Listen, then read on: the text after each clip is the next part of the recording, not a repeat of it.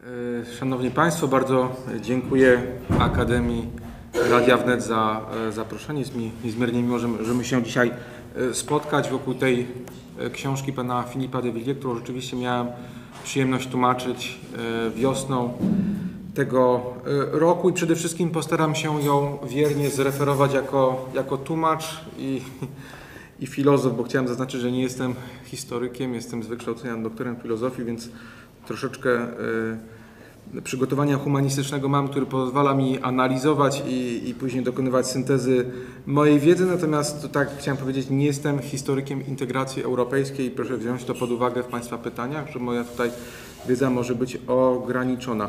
Natomiast książka, o której będziemy dzisiaj rozmawiali ma e, taką zaletę, że e, powinna wywołać również w Polsce dyskusję naukową, bo przedstawia dotychczas mało powszechne znane e, fakty i we Francji wywołała częściowo dyskusję naukową. W Polsce póki co nie słyszałem, żeby, żeby e, coś takiego miało miejsce, ale mam nadzieję, że, że jednak e, coś, coś się prze, przebije do takiego dyskursu e, powszechnie naukowego.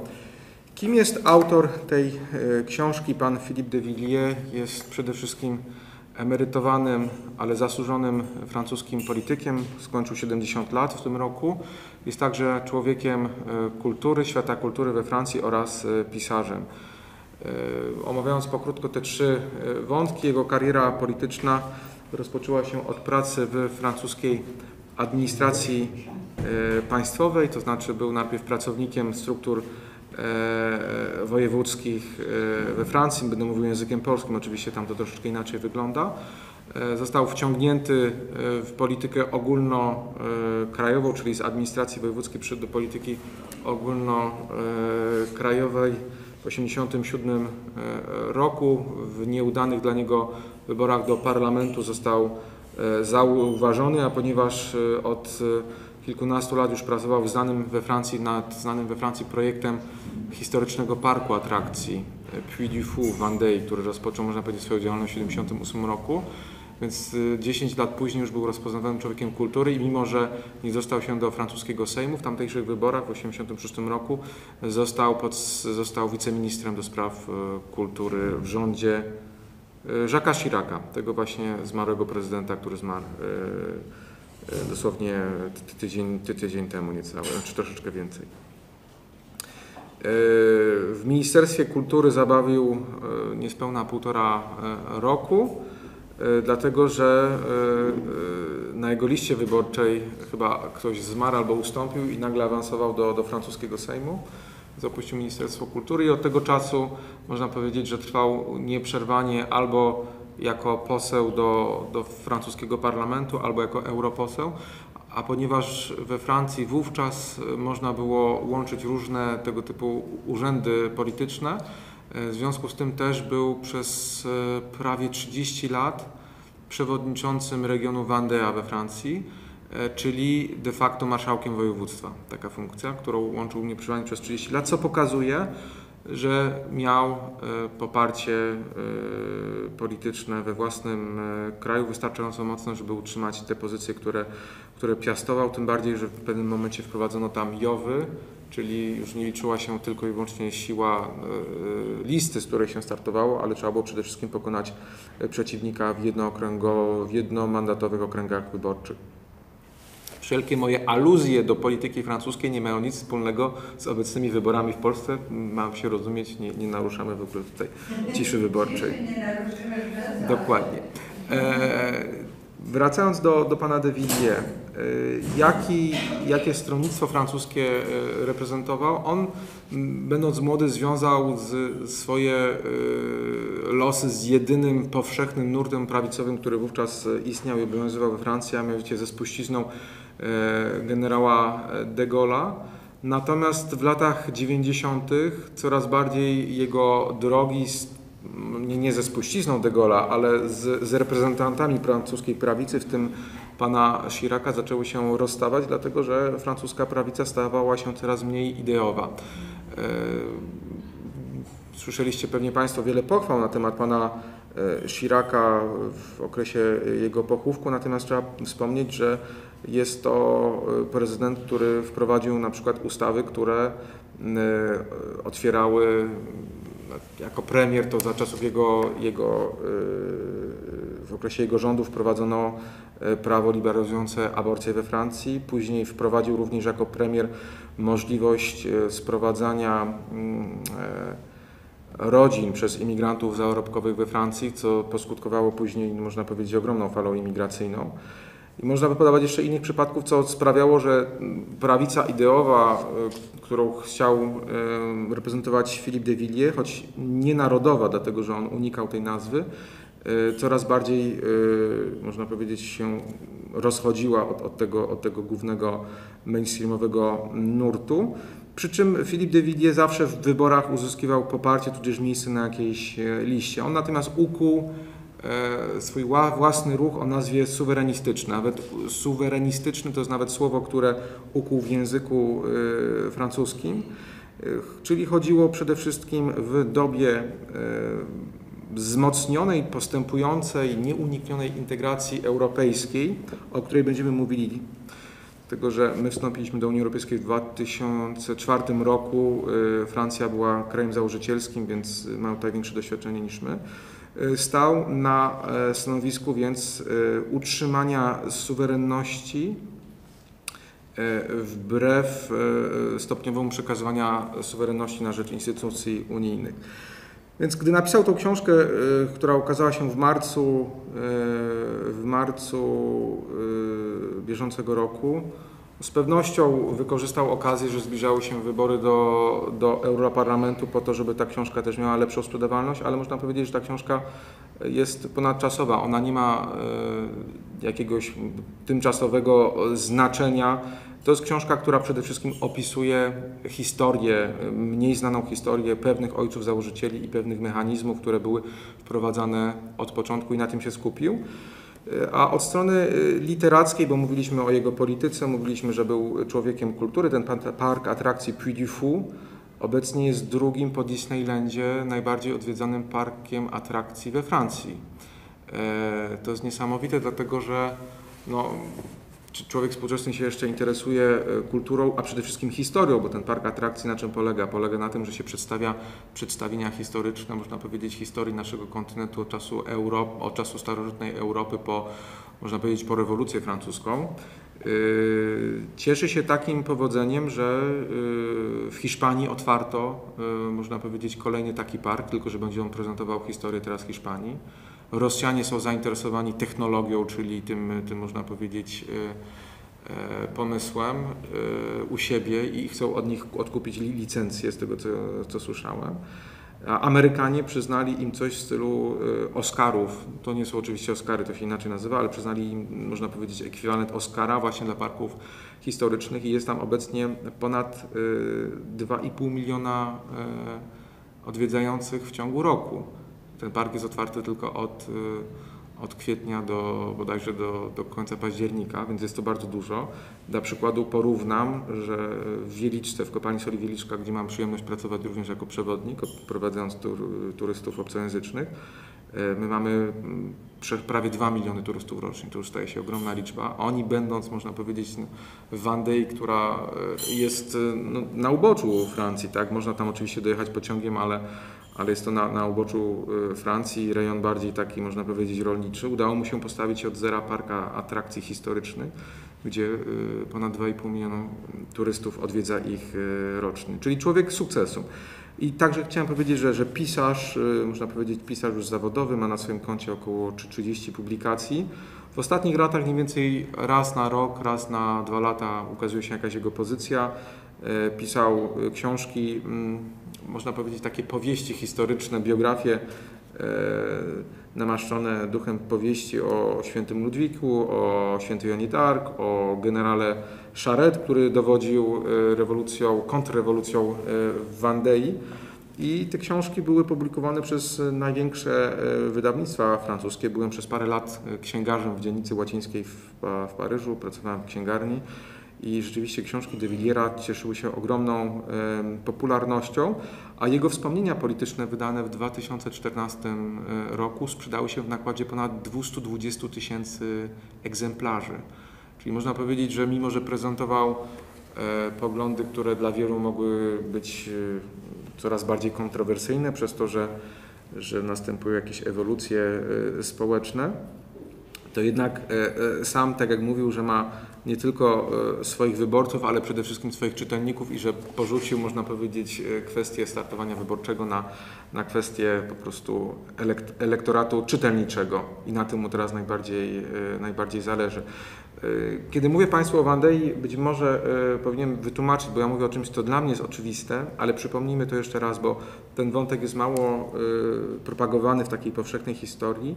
Wandeja była tym rejonem Francji, który na przełomie 93 i 4 roku stawił największy opór brutalizmowi rewolucji francuskiej i niesprawiedliwości, które jej towarzyszyły, bo co innego jest zmiana reżimu czy wprowadzenie nowych praw, a co innego e, bezpodstawne prześladowania, mordy. E, I był to, e, było powstanie w Wandei, które również obejmowało część po, pobliskiej Brytanii i przez dobre półtora roku wojska Wandei złożone głównie z wieśniaków, które obrały sobie na swoich przywódców lokalnych arystokratów, których wciągnęło tę lokalną arystokrację do, do tego powstania, szachowały e, wojska e, rządu centralnego w obronie wiary katolickiej, w obronie e, monarchii, a przede wszystkim w obronie no, podstawowych praw, czyli przestrzegania sprawiedliwości.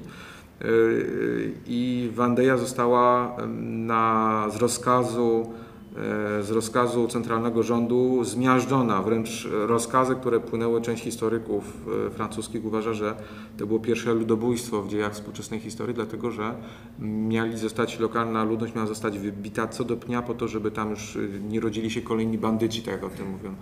To słowo bandyta to jest ciekawe, bo później, gdy mieliśmy okupację sowiecką rozpoczętą w 1934 roku, to też to słowo bandyta zaczęło się bardzo często pojawiać w stosunku do tych, którzy stawiali opór, ale to słowo bandyta już się mówiło wtedy w Wandei, więc to był rejon, który przeszedł ogromną traumę. E, Kolumny wojskowe, które wyniszczały ten, e, ten region, nazywały się kolumny piekielne, colonnes infernales e, paliły e, wszystko na swojej drodze po to właśnie, żeby zupełnie zniszczyć i zrujnować ten rejon. Dlatego Napoleon, gdy doszedł do władzy i e, można powiedzieć uspokoił sytuację we Francji po rewolucji francuskiej, zwolnił ten e, region z podatków na, na dłuższy okres czasu oraz z poboru wojskowego po to, żeby ten rejon po prostu mógł się zupełnie odrodzić. Teraz, kiedy ktoś pochodzi z Wandei, mimo że upłynęło ten 200 lat, ta duma e, swoich przodków, a przynajmniej z e, przeszłości swojego regionu, który który był niezłomny, ona nadal jest e, żywa i ten rejon oczywiście nie może, e, znaczy nie może, e, chce podkreślać swoją dumę poprzez między innymi innowacje, poprzez kulturę, więc jest to bardzo ciekawy rejon, tak jak powiedziałem, taka niby zapomniana Francja, a tętniąca życiem. De Villiers, będąc tym marszałkiem województwa, posprowadzał współczesne teo, te technologie. Był inicjatorem także, jeśli dobrze pamiętam, Vendée Globe, czyli tego słynnego, słynnych zawodów żeglarskich, e, e, które są związane z, z Wandeją. I można by tych przypadków e, mnożyć i mnożyć, a być może najbardziej charakterystycznym dla tego regionu jest to, że, że, że herb tego regionu to są te dwa serca złączone razem, serce, Najświętsze Serce Józefa i, i, i, i, Najświętsze Serce Maryi połączone razem z jednym krzyżem ponad, e, ponad nimi. To jest e, znak tej Wandei walczącej, który do tej pory jest herbem też tego, tego francuskiego, nazwijmy go, województwa czy też e, regionu. Więc tyle na, na wstępie, ale żeby na, zaznaczyć, że jest to ktoś, kto e, no, ma coś do, jeżeli, ten, jeżeli Filip de Villiers ma coś do powiedzenia, to nie można go e, zbyć od razu na wstępie, mówiąc, że jest to człowiek niewiarygodny. On swoją wiarygodność e, udowadnia do, do, do dziś dnia, między innymi swoją popularnością, ale nie tylko. Jego brat na przykład, to już kończę ten wątek rodzinny, ale to też bardzo ważna informacja, bo jego brat w, na przełomie lat 2014-2017 przez 3 lata był był szefem sztabu wojskowego e, wszystkich wojsk francuskich, czyli można powiedzieć, że był najwyższy postawionym wojskowym we, we Francji. Odszedł na tle e, sporów budżetowych i, i misji zadań przydzielanych wojsku na, na tle sporu z, z, prezydentem Macronem, ale doszedł do, do, do tego najwyższego stopnia. Więc, No, a, a ojciec z kolei to też jest On ciekawe. Wspomina o ojcu tutaj. Tak, tak. Bo wiecie Państwo, bo to jest bardzo ciekawe, bo mm, Ja zresztą nie zreferuję Państwu całej książki, bo, bo nie chcę Was pozbawiać tej, tej przyjemności. Oczywiście dam Wam te smaczki po to, żebyście chcieli ją przeczytać, ale przy okazji Wam powiem rzeczy, których się nie dowiecie z książki, a które mogą dla Was tutaj być, być tą korzyścią. Mówiliśmy o tej historii y, y, politycznej i, i o tym golizmie. Czym, był, czym, był, y, czym była ta prawica generała de Gaulle'a?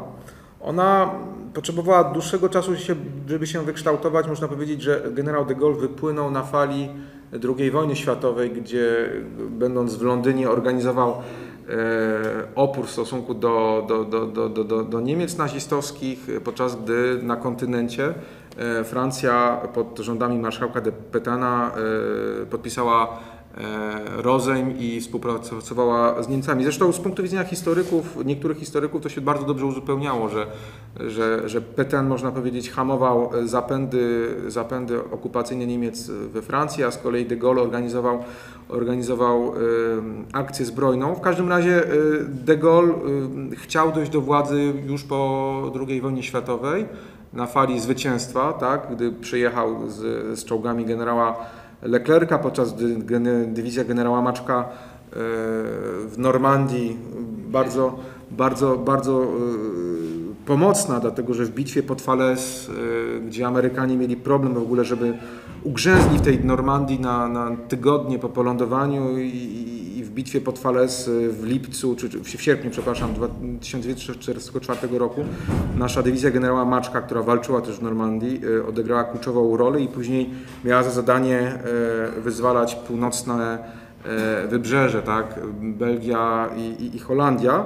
A Francuzi, Francuzi zignorowali rozkaz aliantów i gdy w momencie, gdy udało się zerwać linię frontu, czym prędzej pognali do Paryża. Czym prędzej pognali do Paryża i dotarli do Paryża 25 sierpnia 1944 roku, dosłownie parę dni po zerwaniu frontu Normandii. Dlaczego? Bo chcieli przejąć władzę po to, żeby nie dopuścić to jest związane z tą książką też, po to, żeby nie dopuścić, aby powstał we Francji amerykański rząd okupacyjny, który później organizowałby przyszłe życie polityczne.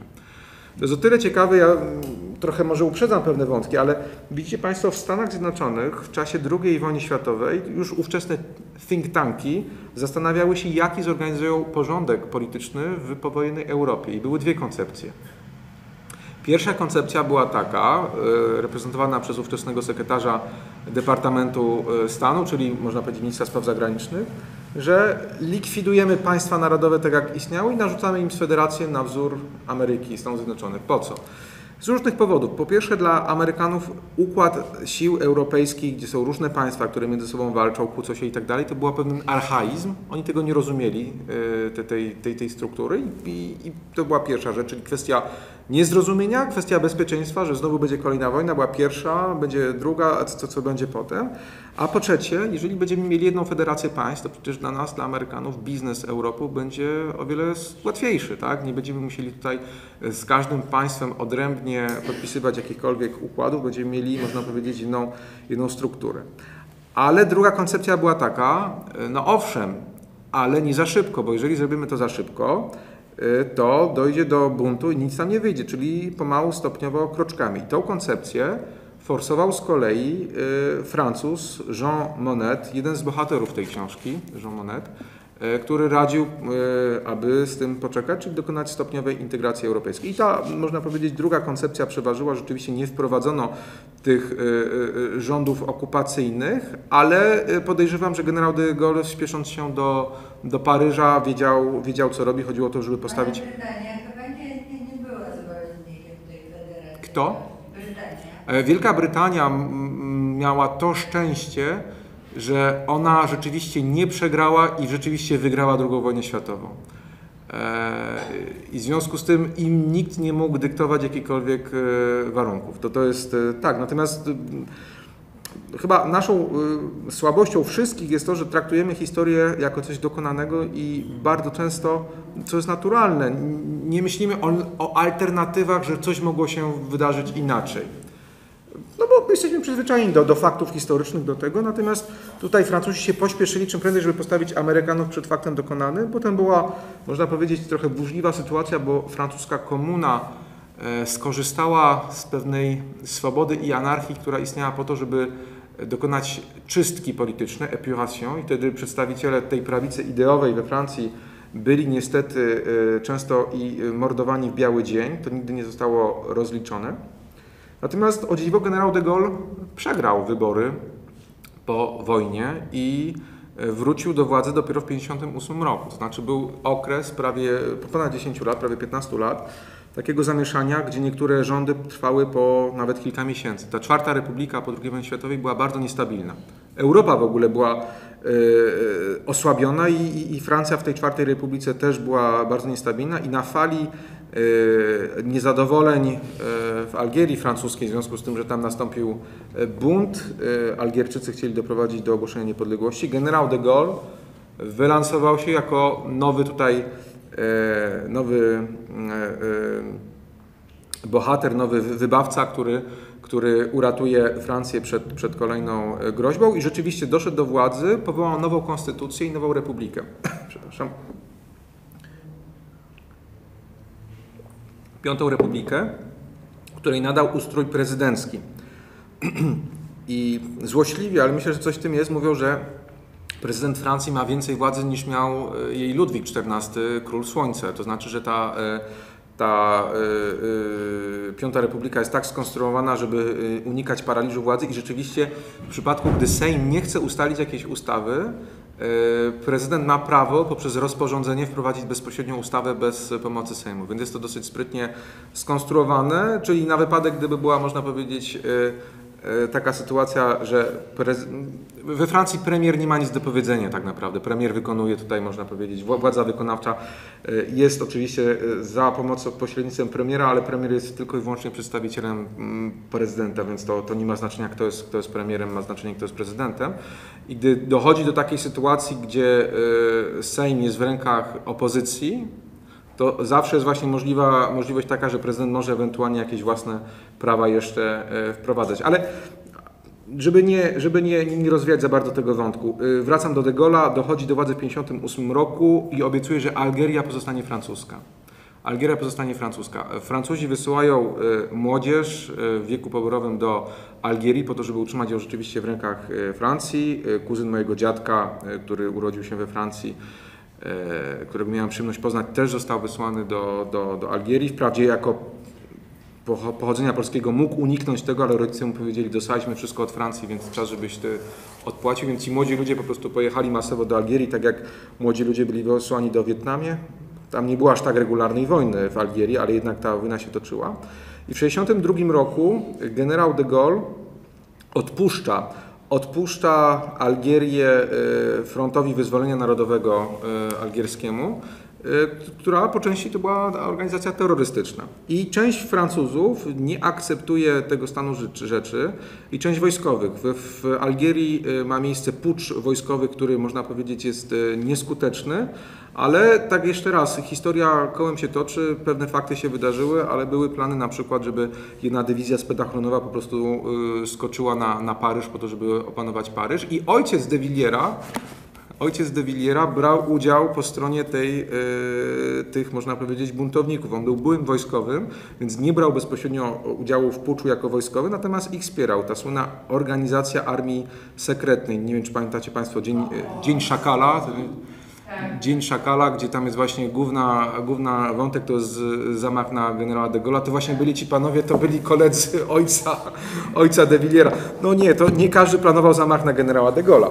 Jego ojciec w związku z tym poszedł siedzieć, został sk- skazany za to, że, że, że, że, pomagał tej organizacji. I to jest właśnie bardzo ciekawe, już kończąc wątek, kim jest de Villiers, że z jednej strony bardzo wychwala de Gaulle'a dzisiaj i w tej książce z punktu jednego podejścia do suwerenizmu francuskiego i, i, i do Amerykanów, a z drugiej strony y, jest z rodziny y, ojca, znaczy jego ojciec został skrzywdzony za, za czasów rządów generała de Gaulle'a, więc tutaj się pojawia ten wątek minimalnie, minimalnie w tej książce i jest, jest on obecny. Dobrze, przejdźmy może po, tych, po tym szerszym wprowadzeniu i kontekście powstawania książki y, do, do, do, do, do, jej, do jej sedna. Y, Ona się tak zaczyna w sposób tajemniczy, bo on pisze y, nie chcę powiedzieć, że rozlekając się, ale trochę nadaje właśnie taki styl troszeczkę powieści. Opowiada anegdotę ze spotkania z panem Mauricem Couvem de Murville, który był e, właśnie ministrem spraw zagranicznych e, Francji za czasów rządów generała de Gaulle'a, w momencie, gdy następowała ta integracja, pierwotna integracja europejska. I miał z nim kontakt w chwili, gdy był, on był wiceministrem kultury, a tenże były minister był senatorem. I De Villiers jako młody wiceminister kultury y, przedstawiał y, projekt prywatyzacji telewizji y, francuskiej. No i przy okazji rozmów kuluarowych umówili się z tym byłym ministrem, na, z senatorem wówczas na, na, na wspólny posiłek i, i powiedział mu, że to są wszystko iluzje, że tak samo jak za naszych czasów, w czasach planu Marshalla, Amerykanie wszystko przejmowali, tak samo i wy, gdy sprywatyzujecie telewizję, to możecie marzyć, że utrzymacie większość programów francuskich telewizji, że wszystko będzie pochodzenia amerykańskiego.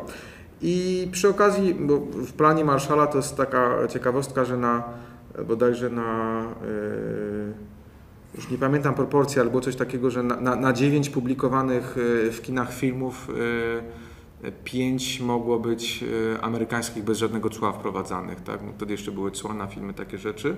Czyli plan Marszala tutaj dawał priorytet e, e, amerykańskim produktom. I przy okazji tej, tej rozmowy powiedział mu Couve de Murville, bo rozmawiali o ojcach założycielach, on mówi, a ojcowie założyciele, wystarczy, żebyś pociągnął za nić i wszystko wyjdzie na jaw. I to taka właśnie anegdota wstępna. Wiele lat później rozmawiając z profesorami e, europeistyki na Sorbonie, zwierzył się z tej anegdoty i powiedzieli mi, aha, no tak, Couve de Murville wiedział wszystko o wszystkich, archiwa są obecnie wszystko otwarte, więc jeżeli chcesz poznać, można powiedzieć, e, niższe pokłady integracji europejskiej i prawdy, to, które są mniej znane na temat ojców założycieli, no to trzeba rzeczywiście pociągnąć za tą nić kłamstwa. Y, i udać się do tych archiwów. Więc Filip de Villiers wysłał ekipy, ekipy badawcze do y, w różne miejsca na świecie, do Stanfordu, do Lozanny, do Moskwy, do Berlina. Y, pozbierał też trochę badań naukowych, które zostały na, na, ten temat zrobione, no i taką, można powiedzieć, kontrowersyjną historię integracji Unii Europejskiej przedstawił. I powiedzmy, co tutaj jest kontrowersyjnego? Kontrowersyjne jest to, że y, mówił o rzeczach, których nie wspominali oficjalni biografowie, a o, na które są potwierdzenia w archiwach. Tak? Na przykład na to, że działalność tych ojców założycieli mogła być sowicie opłacana przez y, amerykańską CIA poprzez y, różne fundacje, tak? ale fundacje, które były przykrywkami CIA i które fundowały działalność tych ojców założycieli w Europie. Y, o czym się nie wspomina. Więc powiedzmy pokrótce o parę rzeczy o każdym z tych trzech ojców, których y, tutaj poruszył. Y, może najbardziej charakterystyczny, najbardziej ciekawy to jest Jean Monnet, taki Nikodema, mm, Nikodem Dyzma integracji europejskiej, człowiek, który nie ukończył matury we Francji, jeszcze w liceum postanowił opuścić rodzinny Charente, gdzie jego rodzina produkowała koniak, to jest słynny region, gdzie się koniak produkuje wyjechał do Anglii, tam zaczął robić e, karierę e,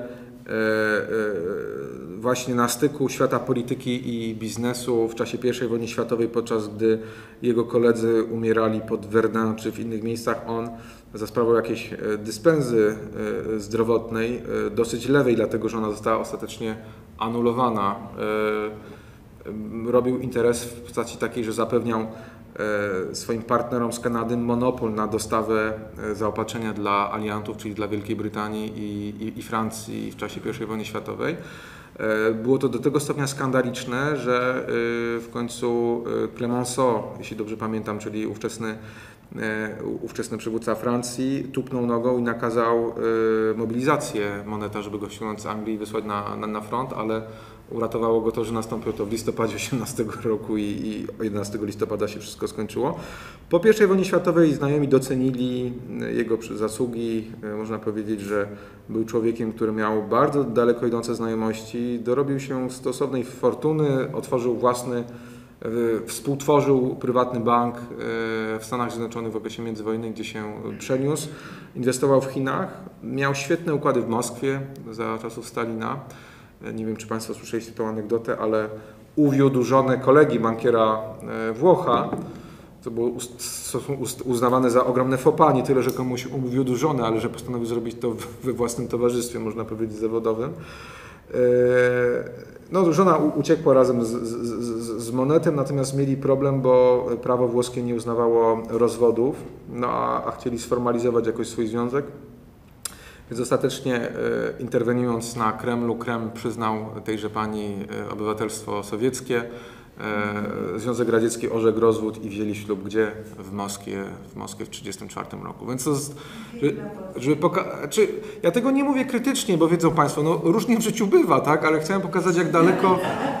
Ja, ja to, nie, ja relacjonuję, ja relacjonuję i zresztą, proszę Państwa, uwaga, ja, ja nie bronię De Villiera, ja czytając tą książkę i później ją, ją, ją tłumacząc, ja mogłem mieć zastrzeżenia tu i tam, natomiast nie jestem historykiem i liczyłem na to, że tak samo jak we Francji, bo Philippe de Villiers trzeba powiedzieć, że to była wspaniała sprawa w momencie, gdy ta książka się ukazała w marcu.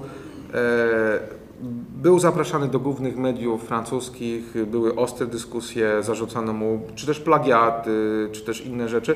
Była dyskusja, toczyła się dyskusja, ta książka się ukazała w Polsce w maju y, bieżącego roku i, i takiej dyskusji jeszcze nie wywołała. Mam nadzieję, że, że coś gdzieś, gdzieś się e, nastąpi. Gazeta Wyborcza poprosiła wydawcę o, o egzemplarz e, celem zrecenzowania, ale już trzy miesiące. Trzy, trzy miesiące piszą recenzję. Nie Nie, może pan liczyć na zamilczanie tej książki. Mm. No ale y, wypadałoby coś napisać, jak się, jak coś, coś jest.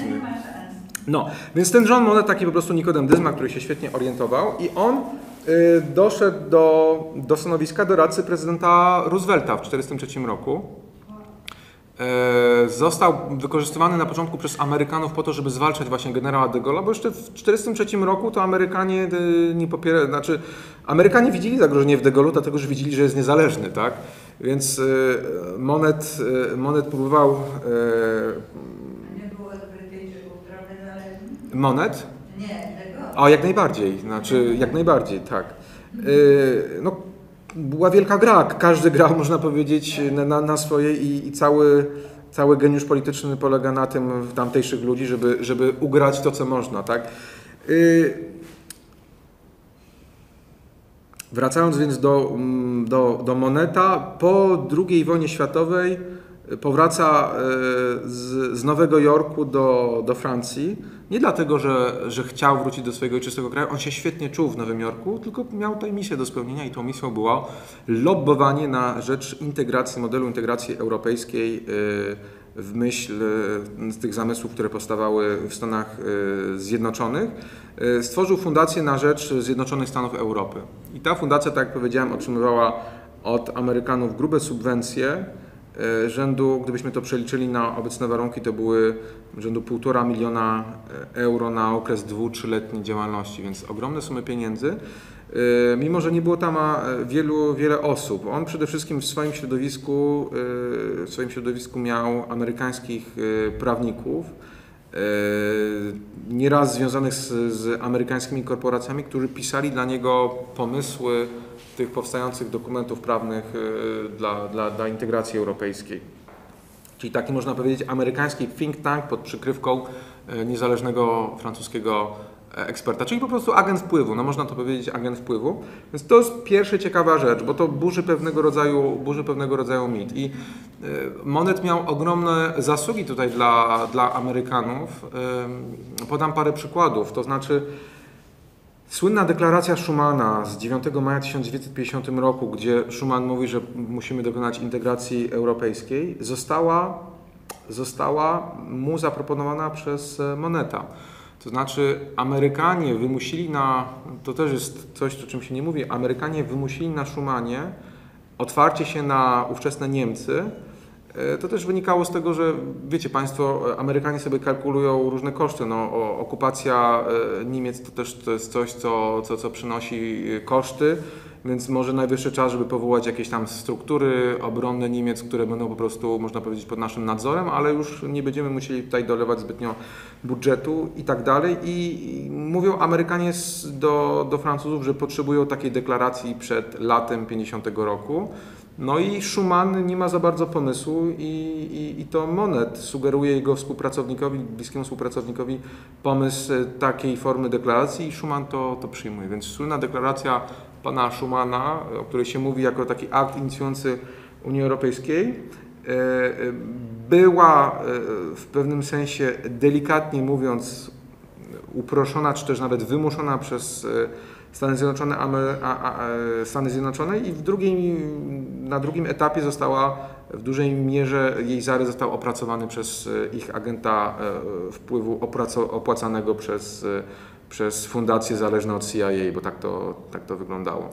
E, Druga zasługa pana, e, pana Moneta dla Amerykanów w momencie, gdy były negocjacje e, traktatów e, rzymskich e, ogłoszonych z kolei w 1958 roku, to pan Monet skazał, e, rozmawiał z przedstawicielem Niemiec i, po pierwszej rozmowie powiedział kanclerzowi Adenauerowi, że się nie dogaduje z tym, z tym negocjatorem niemieckim, żeby lepiej mu dali Hallsteina, że z Hallsteinem, że wolałby rozmawiać z Hallsteinem, a Hallstein to był czysty produkt z kolei e, e, programu recyklingu byłych działaczy nazistowskich, tak? Hallstein był wzięty do, do niewoli i, i przebył, można powiedzieć, mocną e, terapię w Ameryce w okresie powojennym i później był również przedstawicielem agenta wpływu Amerykanów, tyle że w Niemczech. Więc agent wpływu Amerykanów we Francji prosi kanclerza Adenauera, żeby mógł rozmawiać o, o traktatach rzymskich, z, negocjować traktaty rzymskie z przedstawicielem e, Amerykanów w Niemczech. Do tego się to, to, to sprowadzało. I kolejny taki smaczek, być może najbardziej, e, najbardziej ciekawy, jego, mm, jego wspomnienia, które były wówczas w wczesnej Europie spisane, opublikowane w latach 70., traktowane jako mm, pod koniec lat 70., czy też na przełomie 70. i 80. roku opublikowano te wspomnienia, były traktowane jako taka, może nie Biblia, ale, ale jednak y, ważna y, księga tożsamościowa integracji europejskiej. Y, te wspomnienia zostały zredagowane na zlecenie amerykańskiego wywiadu i zostały zredagowane przez y, profesorów nauk politycznych z Paryża, z ich doktorantami, z ich studentami i zostały spisane, którzy można powiedzieć dokonali takiego ogólnego przygotowania materiału i rozdziałów, a później zostało to przepisane na język ludzki przez pisarza François Fontena. Jedyne zdanie, które jest autentycznie od Moneta, twierdzi de Villiers, to jest ostatnie zdanie e, tej książki, gdzie Monet mówi, że mam nadzieję, że dałem wyraźnie do zrozumienia, że, e, że integracja europejska jest jedynie etapem przejściowym do przyszłej organizacji świata, czyli chodziło o, o, o, globalizację rząd światowy. Jest to o tyle ważna informacja, że, że w tych, e, w tych wspomnieniach, które więc nie były pisane przez Moneta, gdy Monet mówi, że byłem sam, bez poparcia, bez pieniędzy, no nie pokrywa się to z, z prawdą w momencie, gdy, gdy w aneksie do książki pan de Villiers publikuje e, 29 dokumentów, łącznie ponad 100 stron, e, e, korespondencji między nim na przykład, a, a, a tymi fundacjami CIA i później widzimy, jakie były przelewy robione, więc no, troszeczkę, troszeczkę mitologii w tych, tych wspomnieniach jednak e, niestety było. Więc pierwszy ojciec założyciel i jego e, spojrzenie na, na integrację europejską, rzeczywiście mm, on uważał, że należy do, doprowadzić do zniesienia e, suwerenności narodowej w momencie, gdy e, powstała pierwsza pierwsza wspólnota europejska, wspólnota węgla i stali i on został jej e, przewodniczącym. Tam zaczęto e, znosić e, lokalne gr- granice między Francją a, a, a Luksemburgiem i, i, i- właśnie mówił o tym przyszłym świecie, gdzie, gdzie, nie, będzie, gdzie nie będzie granic, gdzie będzie wolny przepływ i, i, i, i, państwo nie, tego, nie, jak mówię, ja tutaj nie chcę ironizować ani, ani, ani polemizować, natomiast żeby powiedzieć, że w tamtejszych czasach e, było to, e, były to poglądy, które e, szły na, na przekór m, państwom narodowym, które chciały się odtworzyć po II wojnie światowej.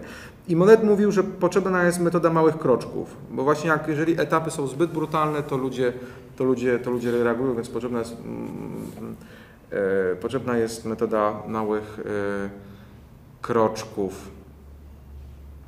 Tutaj ironizuje Philippe de Villiers o, o tych małych kroczkach, bo, bo przypomina ten szczyt y, NATO w Brukseli, gdzie, gdzie pan Juncker ponoć ciępiał na narwę kulszową, nie mówią, że był pod wpływem alkoholu, ale właśnie mówi, że te małe kroczki na, y, żeby się nie przewrócić, tak, gdy wchodzimy na ten pi- piedestał. Tam sobie poczytacie we wstępie, ten wstęp jest rewelacyjny, bo właśnie wychodzi od tego szczytu NATO i tak i wychodzi do, i przychodzi do integracji europejskiej. Druga osoba to jest pan Schuman. I tutaj jest o tyle sprawa skomplikowana, że podczas gdy Monet jakoś nie, nie przejawiał jakiegokolwiek, można powiedzieć, tożsamości religijnej wyraźnej, to tak Schuman, e, prywatnie mówiąc, był człowiekiem pobożnym e, do tego stopnia, że ma, e, miał proces, e, który miał doprowadzić do beatyfikacji, przy czym no, e, jest cisza, bo, bo brakuje cudu i tutaj też pan de Villiers ironizuje, że... Ale, ale, ale nie można Schumanowi odmówić właśnie, że był człowiekiem pobożnym, żył, nie założył rodziny, nie wstąpił na, na, na drogę również y, kapłaństwa czy, czy do zakonu, bo ktoś mu doradził, że więcej zdziała w polityce. Ale też y, warto poznać troszeczkę y, y, strukturę jego y, psychiki, jego psychologii, patrząc wstecz w jego dzieciństwo. Otóż y, Schumann się wywodził z z rodziny, można powiedzieć, która miała korzenie z Lotaryngii i z Luksemburga. Urodził się w Lotaryngii, która była okupowana przez Niemców od 1870 roku. Czyli region Francji, który został przyłączony do Francji e, po śmierci Stanisława Leszczyńskiego. E, Ta Lotaryngia to był taki e, region, można powiedzieć, niezależny, który mm, który trafił do Francji w następujący sposób. Tam, tam były wpływy francuskie, język też częściowo francuski, natomiast trafił do Francji w ten sposób, że Francja dała zielone światło na e, rządy e, Sasów w Polsce. Na zasadzie, że e, skoro tak się popieramy Leszczyńskiego, ale skoro tak go bardzo nie chcecie, to stawiamy dla Was jeden warunek, że Leszczyński obejmuje Lotaryngię, a po jego śmierci Lotaryngię przechodzi w nasze ręce. I tak też się stało. Czyli Lotaryngia e, kosztem Leszczyńskiego została przyłączona, kosztem rządów Leszczyńskiego e, króla w Polsce została przyłączona do Francji i w ten sposób też Maria Leszczyńska, córka Stanisława Leszczyńskiego, została królową Francji, żoną Ludwika XV. Ale robimy tutaj zakręty szerokie.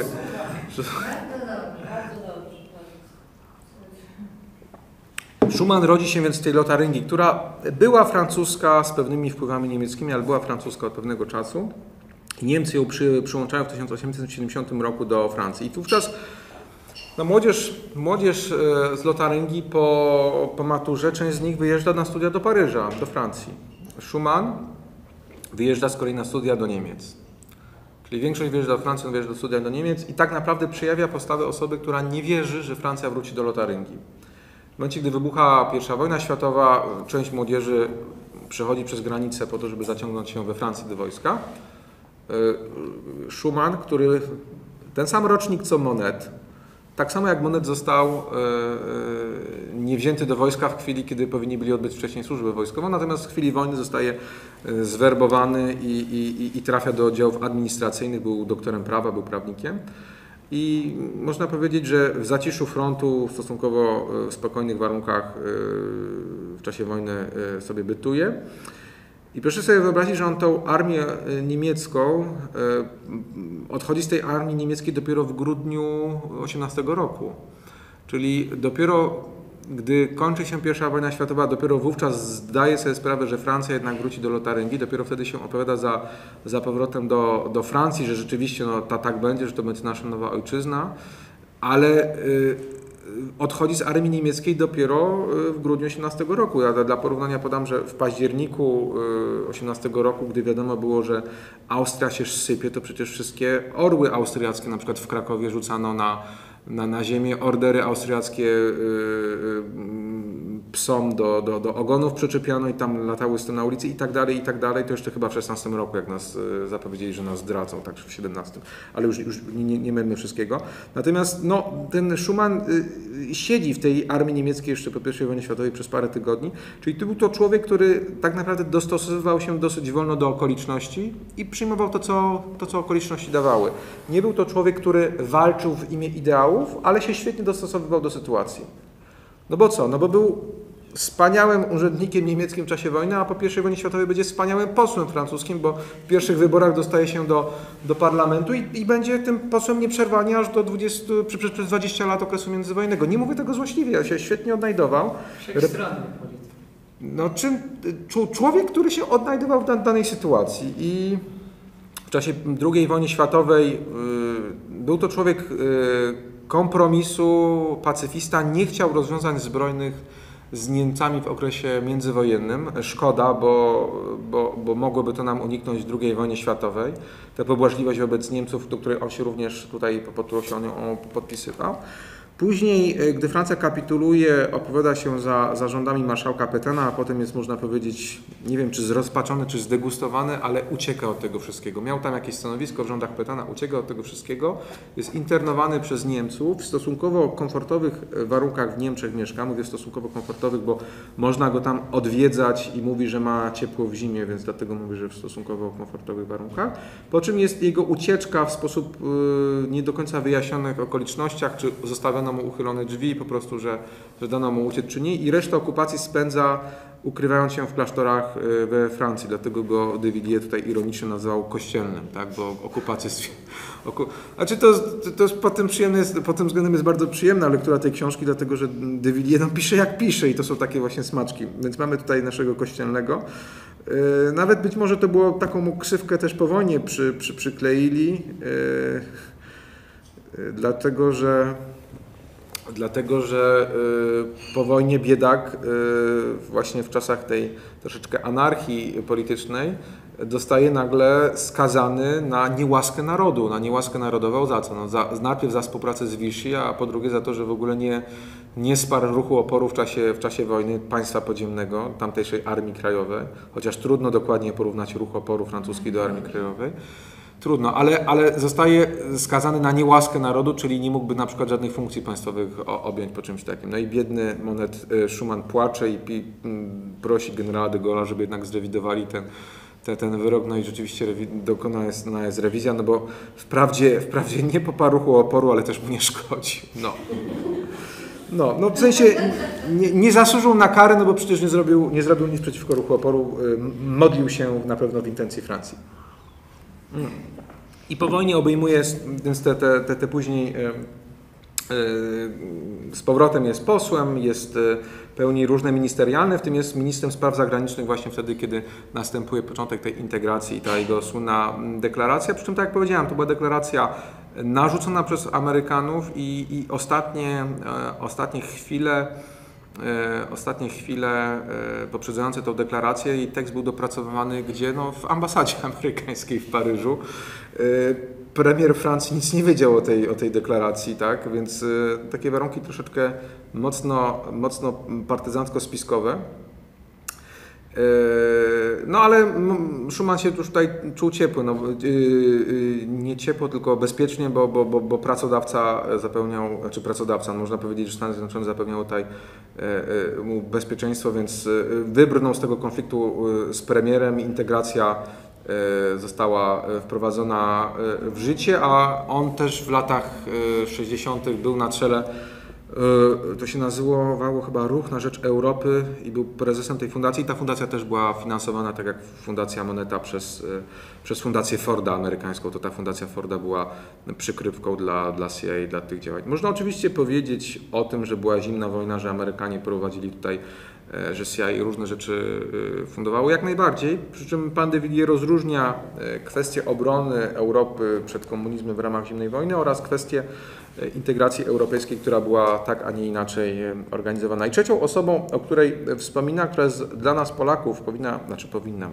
może nie powinna, ale po prostu jest najbardziej kontrowersyjna, to jest Walter Hallstein, o którym właśnie wspomniałem. To był pierwszy przewodniczący e, Komisji Europejskiej na przestrzeni 10 lat, od 50 do 8 do 68 e, roku, czyli ówczesny Claude e, Juncker, tak, e, ta funkcja. I e, tak jak powiedziałem, Hallstein przeszedł przez amerykański recycling e, elit e, III Rzeszy. Jest to człowiek, który figuruje w, w słowniku e, elit III Rzeszy Das Personenlexikon zum Dritten Reich. Tak? To był kiedy, kto był kim i gdzie do 1945 roku. Tam jest bodajże mm, 4300 e, w cudzysłowie bohaterów tej książki, wśród których pan Walter Hallstein. E, e, Czym się zasłużył, że został wpisany do tego słownika? Zasłużył się tym, że był bardzo zdolnym prawnikiem. i był nie tylko zdolnym prawnikiem, ale też był współpracownikiem Hansa Franka, który później został y, szefem generalnej guberni. Hans Frank wprawdzie nie był ministrem sprawiedliwości, ale był ministrem Besteki w III Rzeszy, odpowiedzialnym za nazyfikację prawa niemieckiego. I Hallstein, który był po prostu zdolnym prawnikiem, był, był jednym z jego ekspertów. Pracował w ramach Akademii, e, specjalnej Akademii Prawa utworzonej przez e, Hansa Franka ku temu celu.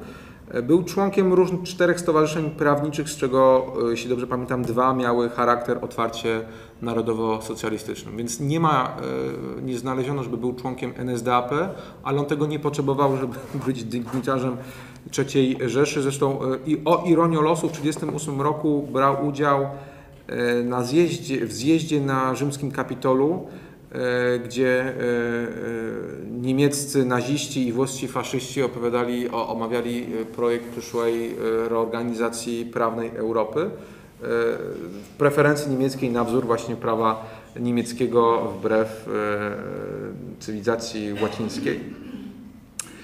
E, I 20 lat później na tym samym Kapitolu podpisywano traktaty rzymskie, a pan, a pan Hallstein został, został tym pierwszym e, przewodniczącym e, Komisji Europejskiej. Co się dzieje w czasie wojny? E, Wojna e, trwa, e, Niemcy zaczynają ją przegrywać i potrzeba utrzymać wolę walki w narodzie i Hallstein zostaje oddelegowany z Uniwersytetu Frankfurskiego jako instruktor, oficer polityczny Narodowego Socjalizmu do Wehrmachtu w Normandii. I tam znajduje się w Normandii, czyli wykłada narodowy socjalizm prostym żołnierzom Wehrmachtu po to, żeby nie wymiękli w dniu, kiedy Amerykanie wylądują.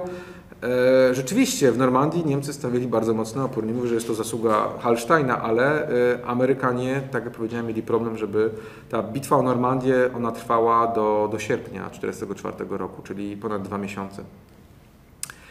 E, Następnie jest wzięty do, do niewoli i podany temu programowi w Stanach Zjednoczonych, jest wzięty do Stanów Zjednoczonych, jest wyselekcjonowany wśród wię- więźniów i to był program Sunflower. Sunflower, czyli słonecznik.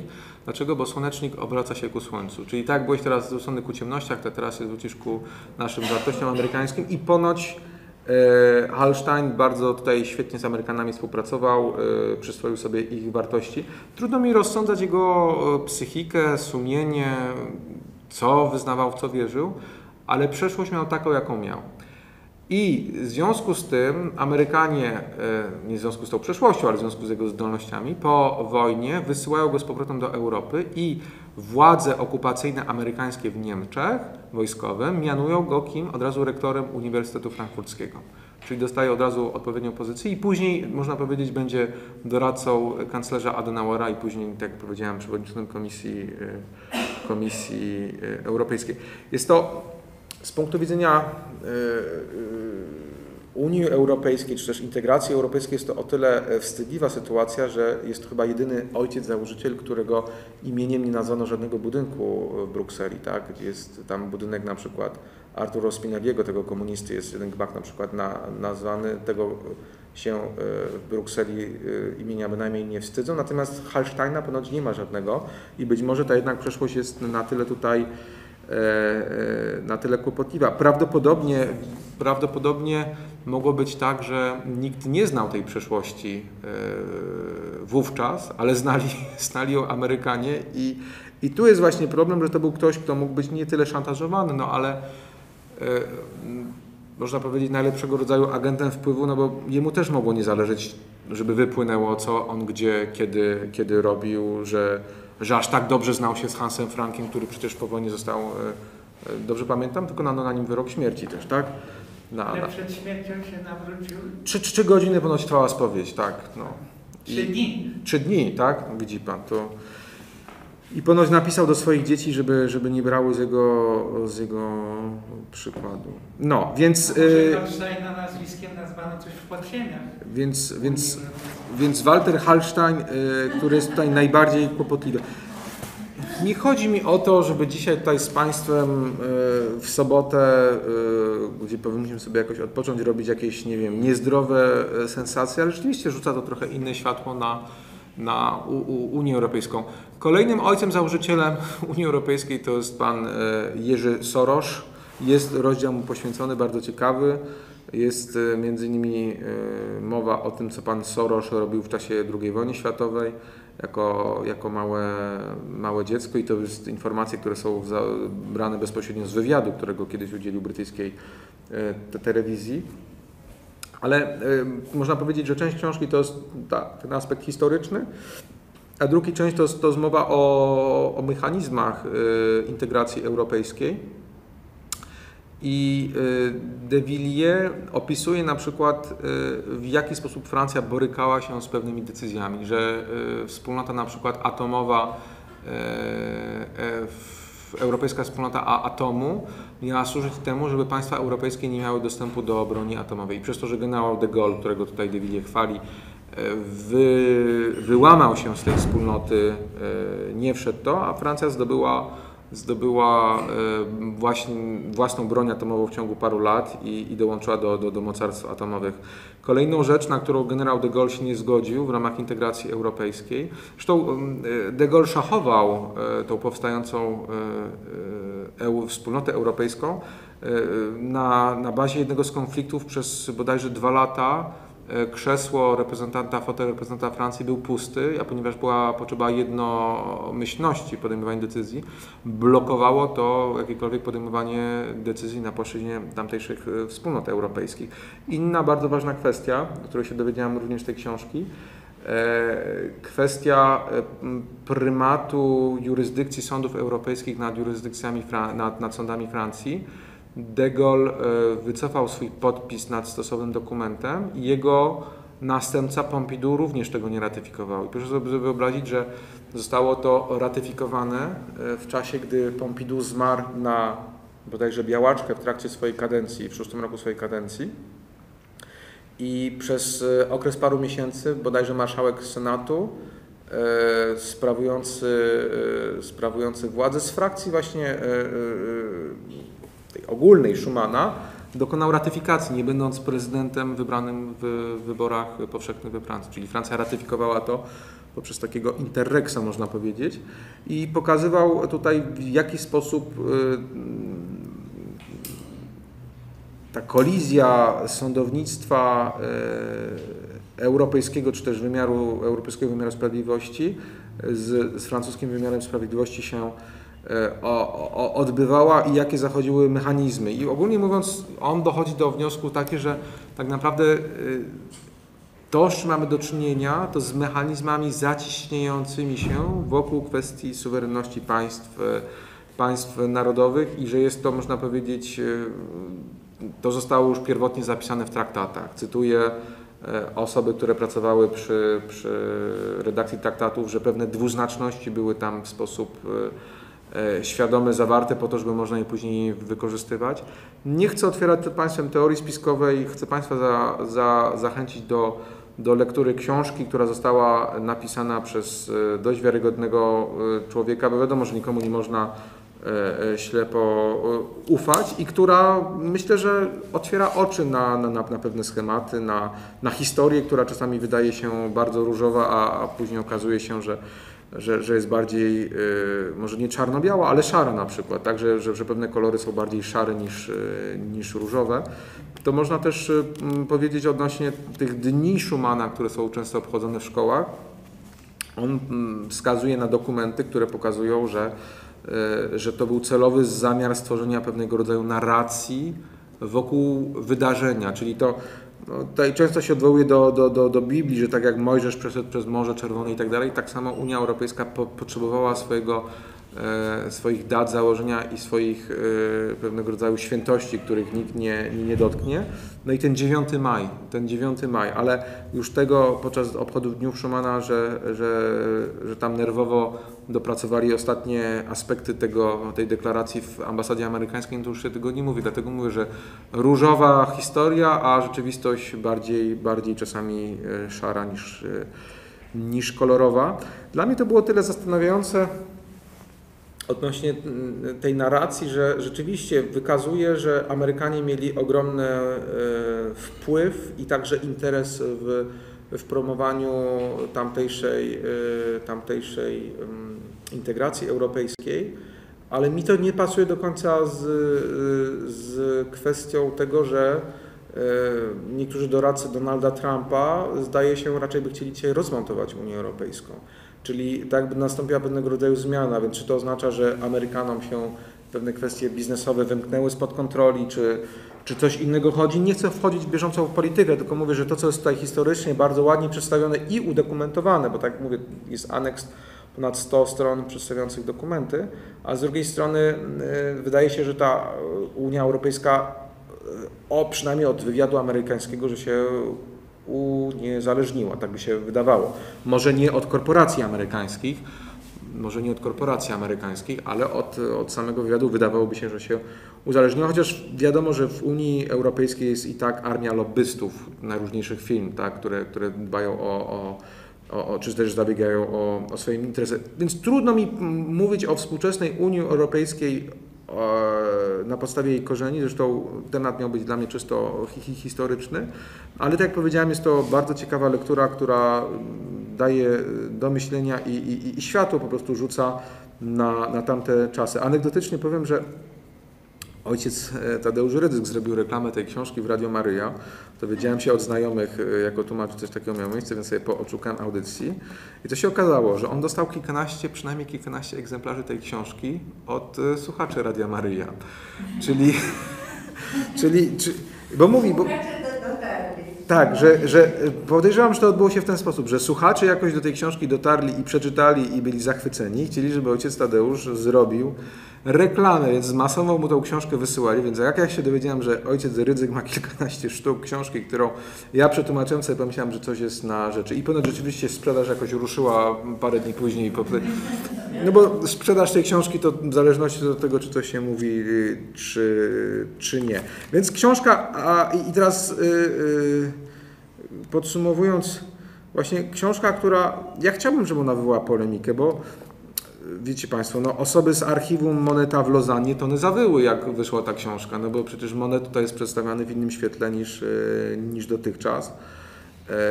Tam argumenty były na przykład takie, że pan de Villiers wykorzystał prace naukowe na ten, że, że niejako, że dawno już o tym wiedzieliśmy, więc po co to odgrzewać, tak? To, to był pierwszy...